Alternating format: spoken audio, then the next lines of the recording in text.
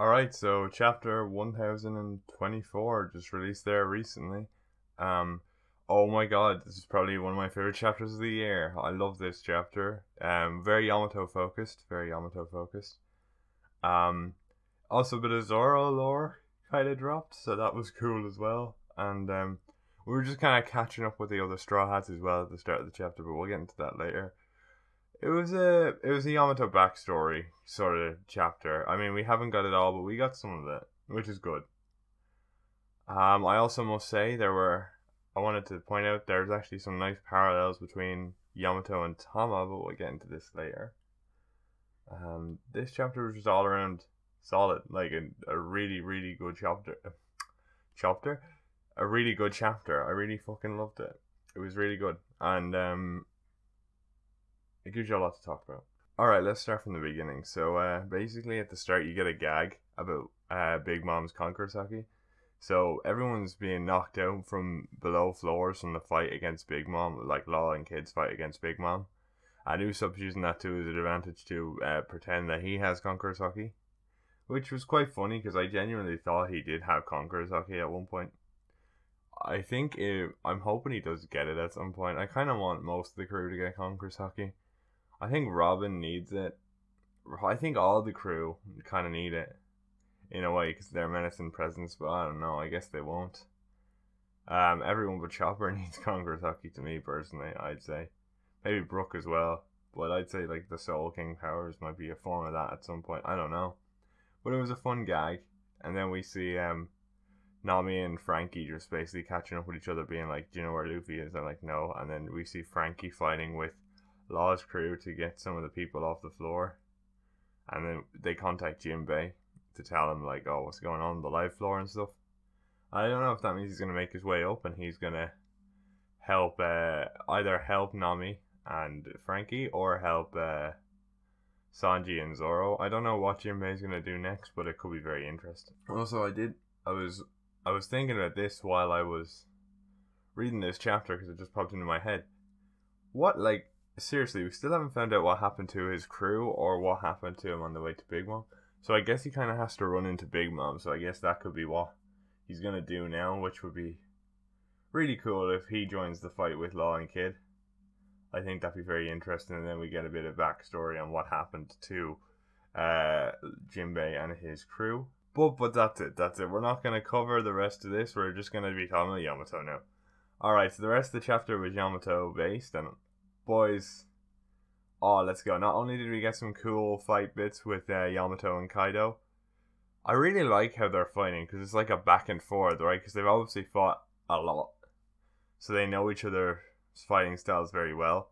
So it's like Yamato's doing an attack and Kaido copies that attack to to uh, you know deflect her attack. It shows that she learned her attacks off Kaido and off trying to kill him and all this jazz. Which in a way it's kind of proving her dichotomy of wanting to be Oden but emulating Kaido in a way. And it's a very cool dichotomy and I really enjoy it.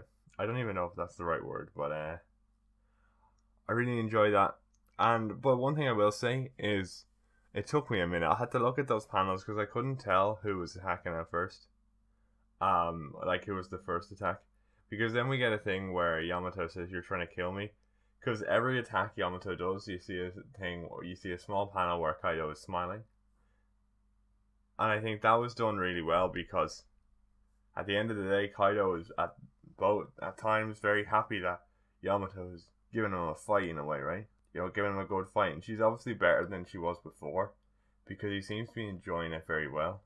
So she must be giving him a really good fight, and um, actually at the end of the chapter, we see that she has a advanced conquerors because they had a clash.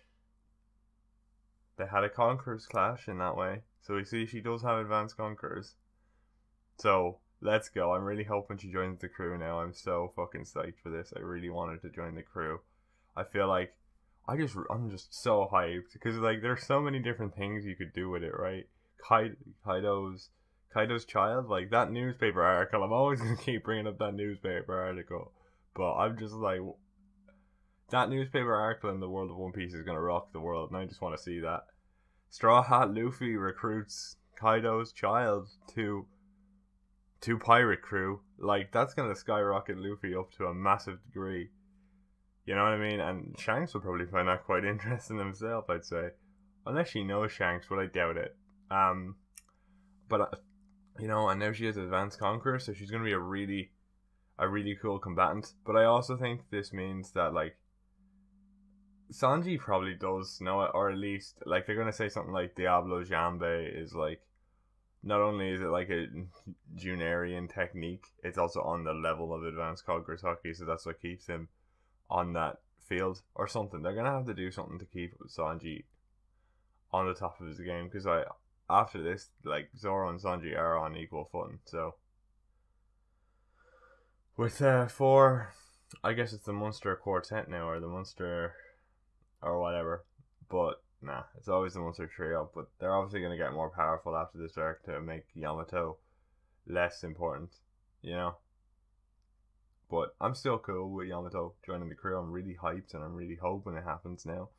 Uh, man, and we got our backstory as well, which I think uh, her backstory involves Zoro's heritage a bit. So that's cool as well. So basically, we see the flashback of when she unlocks Advanced Conqueror's Haki and is going, I'm Oden, I'm Oden. And she's locked away for a month and food's thrown in. And basically, where she was locked away, the samurai that went up against Oden were. And basically, what happens is she she thinks these samurai are going to kill her and she's getting real nervous, right? Because not she does proclaim to be Oden, but she is Kaido's, Kaido's child at the end of the day, right? And so she's like, oh shit, this is going to cause me problems. But then they're like, oh no, eat up, young one. And uh, like, samurai don't eat. And then she has a lovely chat with, uh, I can't remember, it's the daimyo of one of the regions, but it's, it looks like it's Zoro's ancestor. It's the one mentioned in the previous chapter. I can't remember the name. Uh, apologies for that. But it's the one mentioned in the previous chapter, and we see he looks exactly like Zoro, and they they end up protecting her, but uh, they end up protecting her at the end, and they fight and die to protect Yamato and let her out. It's a very it's a very interesting concept because it also shows why she's so dedicated to the cause of being Oden and freeing Wano because these samurai who follow Oden gave her food and helped her escape from that hellhole after a few days. So, you know, obviously that's going to strengthen her resolve because she has to repay the lives they lost in order to protect her. So it's real, it gives her a really nice backstory and a motivation in a way to a more solid motivation than she already had. Um, but as I said, it also, um, due to it being Zoro's ancestor and he's the one who gives her the food as well, it shows a nice parallel where, you know, the way Tama gets fed by Zoro and Luffy. Uh, the way Yamato is drawn is exactly the same as how Oda drew Tama when she was eating for the first time. So it shows you kind of now at this point, like Yamato is the Yamato is the present that the samurai uh, nurtured, and Tama is the future that Luffy and Zoro nurtured. So it's a kind of sweet parallel which I really enjoyed, and I think it's going to bode well for the future of the series. Now I don't know if this means, I don't know what this means, like if they're going to interact or whatever, but I think I'm just really I'm just really excited now. And the little Zoro, obviously he's similar to Zoro, and he has a black blade as well, which is really cool. I'm assuming that it didn't look like the Haki effect, so it looked like he just has a black blade. So I wonder what sword that is, and if Zoro will get that sword. But oh man, it's very interesting. I really enjoyed this chapter. There was so much to it with the Yamato backstory. And I was just so fucking hyped because I'm a big Yamato guy, right? I love Yamato. I love that whole. I love that character. You know, great, great character. I don't know. I guess I'm just. You know, it's funny because I know not a lot has happened with Yamato. I'm more, I'm more like the idea of that of that uh, newspaper article after she leaves Wano with the Straw Hats. More that I'm like excited for the character, but it has in turn made me excited for everything the character does. You know what I mean? I really want to see that newspaper article, bro. Um, but anyway, there was so much good shit in this chapter, and it actually makes me really excited to see an interaction between Yamato and Zoro, because I feel like that's when Zoro is going to find it all out, or at least the majority of it. because surely she would have done some research afterwards to see who these people were because she respect respects them so much, and she's heavy on the research, right? And she's gonna be like, "You look like the man who saved me," or something like that. Is he your father? And then obviously Zoro, and this might be in front of the scabbards or all this, and he's like, "Look, I am. I come from Shimotsuki Village. What are you talking about?" That's the or she'll say Shimotsuki. What's his name? And he'll be like, "Oh, that's my village name, by the way." And then they're and he doesn't know what's going on, but they all figure it out, and we get a little exposition dump about Zoro. And then not only is she fascinated with Luffy, but she also really likes Zoro, and that strengthens her her resolve to go to sea with the crew because it has it has the quote unquote I'm gonna say child for now of her savior on it. So he, she's like, I gotta do this, bro. You know. So I feel like this really not only strengthens her reasoning when she finds out that Zoro's on this crew to be with the crew, you know. So there's so much cool stuff happening now in this chapter. Oh, and there's so much stuff to think about. And her interaction with Momo when he comes up. I know we talked about this last week because there was a lot to say with that. Um, but yeah, no, it's it's really fucking killer. It's a really fucking killer chapter.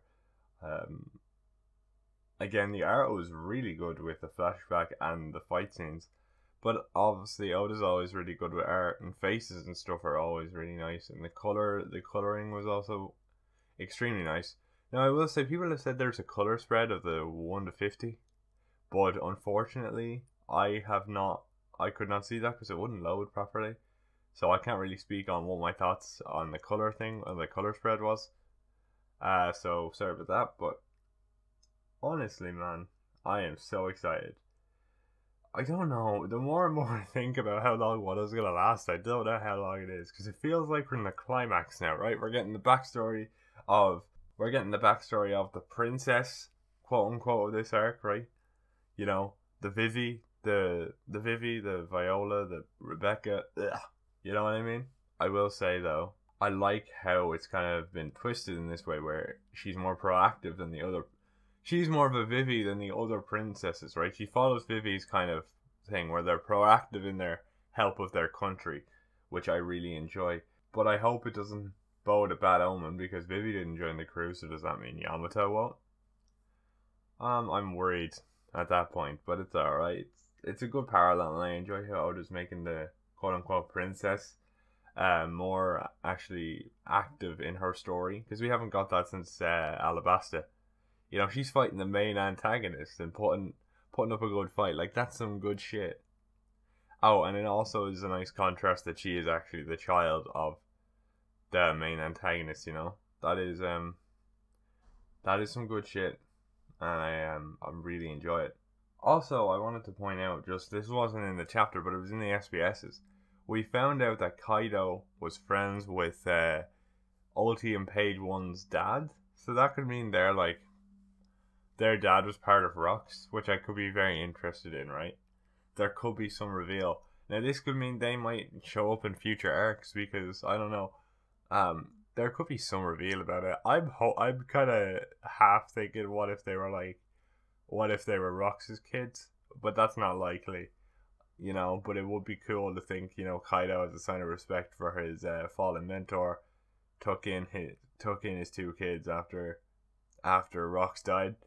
You know, that would be a neat memento to his uh, former captain, which would be real nice. But I don't know, probably not it's probably someone we know or someone we'll find out. Like we'll find out in a flashback, like it's some massive guy from Rocks, like the one of, one of the top dogs, and this is their their kids, and he trained Kaido or something, or he was the only nice one to Kaido or something besides the captain himself, or something like that. We'll find out in retrospect, but I do think that also means Ulti and Page One are gonna have a more important role in future arcs um, maybe who's who as well, but I think uh, CP0 will make sure he dies, so I don't think we'll see him. Um, I don't know what else the other Tobi Roppo is gonna do. Also, we haven't seen Drake in a while. What exactly is Drake doing right now? I don't actually know. Um, he needs to do some shit. I wonder if he's gonna like delay, like if they do what we think they're doing and they're gonna bring in a marine fleet will he delay them a little bit to allow the Straw Hats a little bit of time? Like, be like, oh, they're over here or some shit, or like fight against them because most of them still think he is part of the pirates. So I don't know. Drake could help the Straw Hats in a way, and maybe I don't know, give him information. Maybe he's the Lord Dump. I know I said Bartolomeo will be when he shows up, but Drake could also cover as a Lord Dump for them because he's getting informed of everything of what's going on in the outside world, you know. But we must say though, uh, once again, Oda, that was a banger, banger chapter. Loved it.